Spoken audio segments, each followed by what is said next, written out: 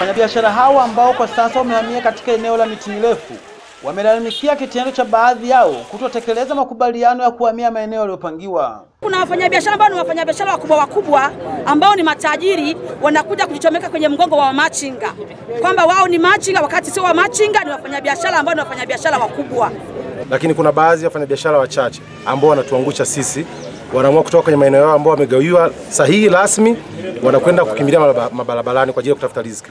Hata sisi wababe tunao, tuna uwezo wa kuacha biashara zetu tukaenda, lakini no, tunaheshimu mamlaka, ndio maana mpaka sasa hivi tuko tuko hapa. Wafanya biashara warudi kwenye maeneo yao, wafanya biashara wasiporudi kwenye maeneo yao wachukulie hatua, kama wanataka kusababisha vurugu na wanaleta uchonganishi kati ya serikali, sisi wajasiriamali na serikali, kwamba sisi hawajapewa maeneo wakati wamepewa maeneo na kila mtu ana eneo lake na wote wanatambulika kwa majina.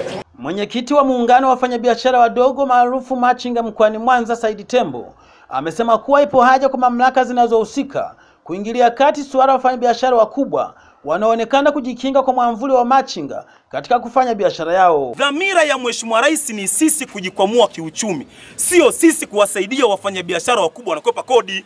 Hii itamfanya siku moja Mheshimiwa Rais aone hata sisi wa machinga hatufai, kwa sababu dhamira yake atusaidie sisi, tena tunabeba watu. Akiwa katika eneo la tukio hilo, mkurugenzi wa jiji la Mwanza Kiomoni Kibamba akajibu malalamiko ya wafanyabiashara hao na kuwaeleza mikakati ya halmashauri.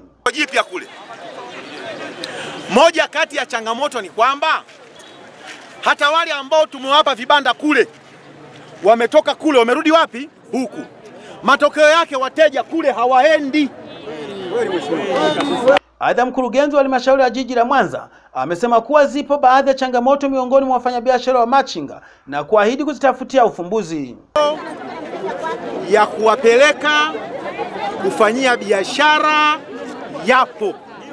Moja, mbili, mtasajiliwa wote, mtasajiliwa wote na kupigwa picha, ili asitoke mtu anadhulumika au alikuwepo alafu anaambiwa wewe ufanye nini, ukuwepo. Ili kutekeleza baadhi ya malalamiko ya wafanyabiashara hao, tayari halmashauri ya jiji la Mwanza wameanza kuhamisha kwa kubomoa mabanda ambayo yamejengwa kando kando mwa barabara ya Pamba iliyoko kata ya Pamba wilayani Nyamagana.